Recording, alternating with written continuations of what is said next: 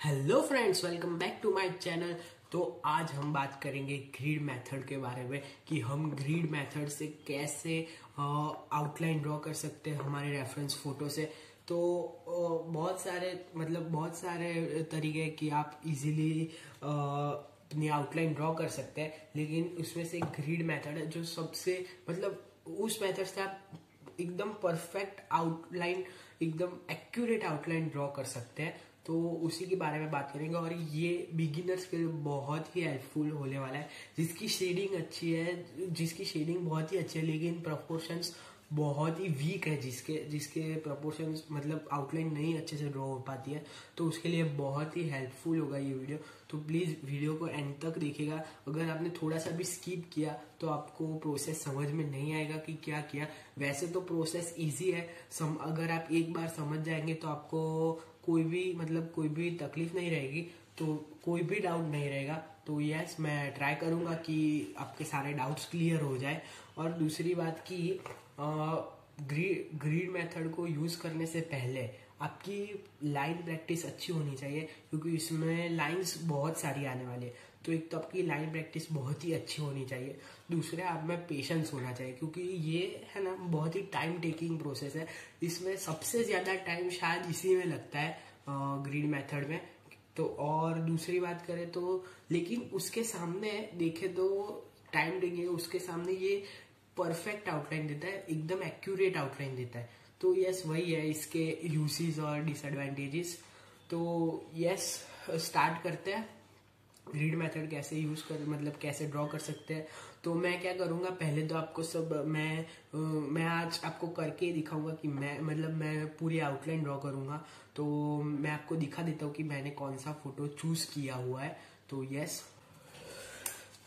तो मेरे पास ये ए थ्री साइज़ का पेपर है, जिसमें मैंने ये मेरे पास फ़ोटो है, जिसमें आप, अब मैंने ए थ्री साइज़ में ड्रॉ किया हुआ है। आप ए फोर में भी कर सकते हो, ऐसा कुछ भी नहीं है, लेकिन अभी मैंने ए थ्री में किया है।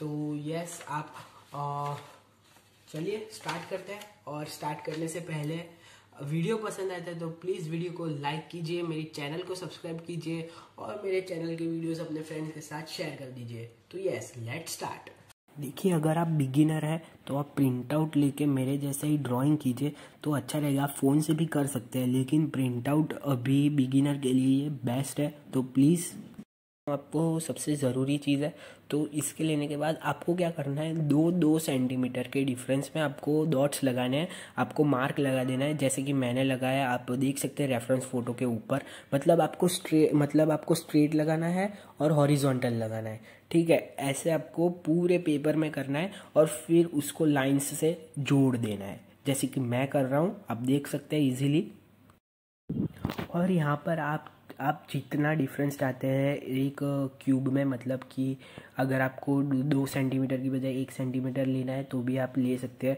और शायद तीन सेंटीमीटर लेना है, और तीन भी ले सकते हैं। ये सब आप पर डिपेंड करता है। तो यस आप अगर, देखिए मैं कैसे अब लाइंस लगा रहा हूँ।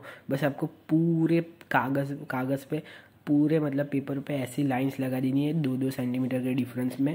पहले सीधी, फिर हॉरिजॉन्टल और देखिए आप मैं फास्ट फॉरवर्ड कर देता हूँ।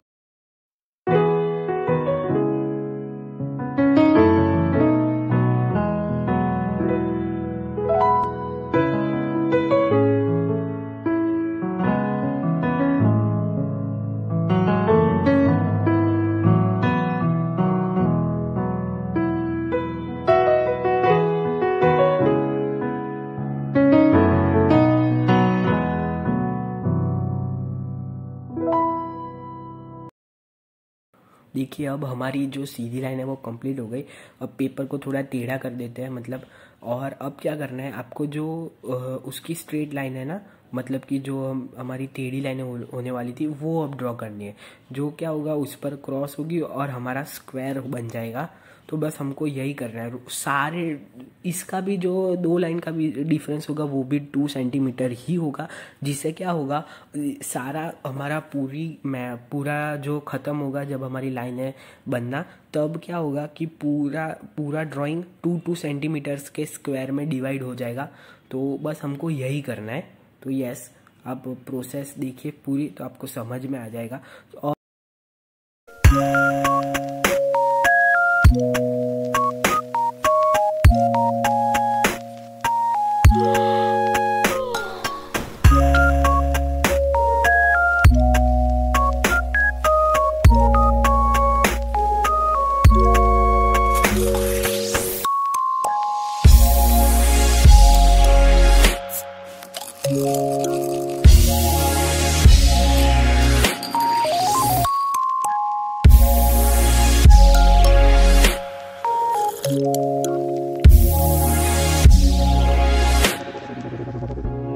तो अब आपको सेम प्रोसेस ऐसी बुक में करनी है अपने तो वो मैं आपको नहीं दिखाऊँगा, क्योंकि सेम टू सेम दिखा के कि कोई मतलब नहीं है तो वो आप ऐसे ही कर सकते हैं। और साथ ही साथ आपको ऐसे नंबर्स दिख लेने हैं, जिससे आपको आसानी रहे ए बी सी डी और बाजू में नंबर्स वन टू जितने हो सके, जितने आपके बॉक्स है, उतने। तो चलिए अब मैं आपको प्रोसेस बताता हूँ। तो देखिए यहाँ पर देखिए ये आइज़ है जो वो किस वो, वो, मतलब किस नंबर पे है तो ये है हमारी जी नंबर पे, ठीक है? तो और जी नंबर जी नंबर के बॉक्स में आइज़ है और नाइन नंबर है तो वहाँ पर आइज़ है। तो वही की वही सेम टू सेम हमें इसमें ड्रॉ करनी है, हमारे पेज पे जो मैंने ड्रॉ की हुई है, देख सकते हैं आप। तो ये भी मैंने जी नंबर जी और टेन के बीच में ड्रॉ किया। बस आपको ऐसे ही फॉलो करते जाना है कि ये कहाँ पर है, फिर आपको देखना है कि एक बॉक्स छोड़ के हमारा जी जी में ही टेन पर है टेन बॉक्स छोड़ के इलेवन पर। तो आपको नंबर्स और ये बॉक्स की खेल है मतलब आप इजीली ड्रॉ कर सकते हैं। तो यही है जिससे आप एक्यूरेट ड्रॉ कर सकते हैं। तो चलिए अब मेरे टाइम लैप्स देखते हैं कि मैंने कैसे ड्रॉ किया।